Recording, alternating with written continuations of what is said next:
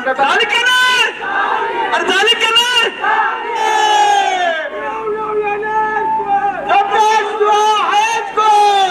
अतिशय आनंद होतोय.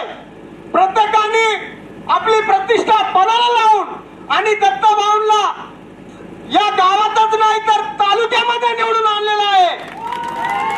उपसरपंच अनिल ढेंगळे यांचा सुद्धा जोरदार टाळ्यांनी सत- हे करायचं आहे निवडून दिल्या त्याच्याबद्दल सर्वांचं अभिनंदन. एवढंच बोलायचं आहे मला. आणि मी पाच वर्षात दत्ताभाऊ सोबत जी कामं सांगेल ना तुम्ही त्याच्यासोबत मी पळायला तयार आहे. सगळी जे कामं सांगेल ना ते करायला तयार आहे मी. तुम्ही सांगा ती करणार तयार आहे. वर्षभरापूर्वी आपल्या गावचे सुपुत्र कैलासवासी सोनोपंत बाळासाहेब ढेकळे यांनी खर तर जाहीर केला होता. परंतु काही दिवसापूर्वी निवडणूक अचानक लागल्या आणि निवडणूक लागल्यानंतर उमेदवारांचा आपल्या गावामध्ये सुळसुळाट झाला की ज्या उमेदवारांनी गेल्या साठ सत्तर वर्ष या गावामध्ये त्या कुटुंबियांनी हुकूमत गाजवली होती.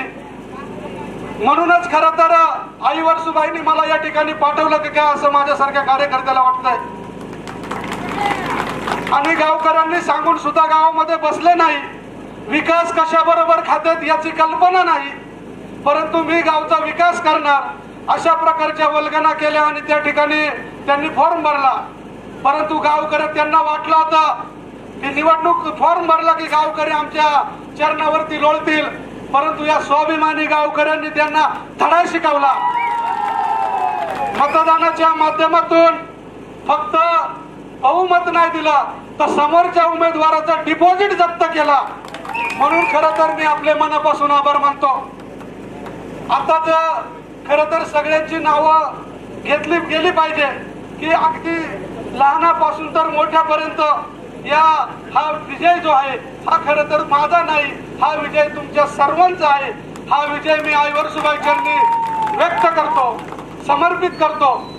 खरं तर आपली पुणेकर मंडळी मुंबईकर मंडळी असेल त्यांनी एकच विश्वास खरं तर माझ्यासारख्या कार्यकर्त्यावरती दाखवला की आम्ही आहे तू पुढे जा.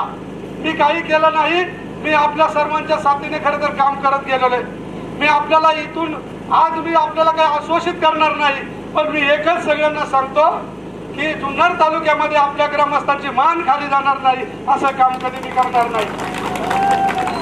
खर तर तालुक्याच्या राजकारणामध्ये मी गेल्या कित्येक दिवसापासून काम करतोय. बऱ्याच लोकांना स्वप्न पडत होती. बऱ्याच लोकांना वाटत होतं की हा कुठल्या गावचा सरपंच नाही.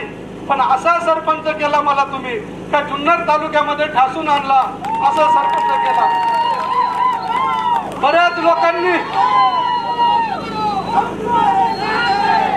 बऱ्याच लोकांनी आपल्या गावामध्ये त्या अल्पबुद्धीच्या लोकांना सांगण्याचा प्रयत्न केला. त्यांना भूस भरला आणि त्यांनी सुद्धा त्यांचं ऐकलं आणि निवडणुकीला उभे राहिले. तुम्ही सर्वांनी त्यांना चोख उत्तर दिलं. मी आपल्याला सांगू इच्छितो निवडणूक झाली विजय हा सगळ्यांचा झालेला आहे. आता इथून पुढे बाकी आपल्याला सर्वसामान्यांची आपल्याला काळजी घ्यायची आहे. आपल्या आईवरसुबाईचं जे मंदिर आहे जे आपण सुरू केलेलं आहे आपल्याला सांगतो की पन्नास लाखाचं काम आपण पूर्ण केलेलं आहे. उद्या खर तर वरसुबाईचा वार आहे. मला माहीत आहे तरुण मंडळीला लय मजा करायची होती. या तरुण मंडळीला अगदी अन- अजून उत्साहाने नाचायचं होतं पण उद्या आपल्या गावची यात्रा आहे. आणि त्या यात्रेमध्ये आपल्याला यात्रेचं नियोजन आपल्याला करायचे. आणि आपण सर्वांनी जी भरभरून साथ दिली आता इथपर्यंत तुम्ही माझ्या सोबत आहात. पुढच्या पाच वर्ष तुम्ही माझ्या सोबत राहाल. अशा प्रकारची विनंती आपल्याला या ठिकाणी करतो. आपली असणारी वर्षुबाईची यात्रा त्या यात्रेसाठी एस टी महामंडळाने आपल्याला चार एसट्या दिलेल्या आहेत. ती एसटी या ठिकाणून येईल वरसुबाईच्या पायथ्याशी जाईल आणि पिंपरवाडीकडून खाली जाईल. तरी आपण सर्व पाहुणा मंडळाला याची कल्पना द्यायची आहे. खरं तर आईवर्सुबाईने हा कौल आपल्याला दिलाय. या ठिकाणी एस टी महामंडळाचे खरं तर आमचे सहकारी या ठिकाणी आलेले आहेत मित्र आलेले आहेत. यांचा देखील मनापासून आभार व्यक्त करतो आणि हा कार्यक्रम संपला असं मी जाहीर करतो. जय हिंद जय महाराष्ट्र. Thank you.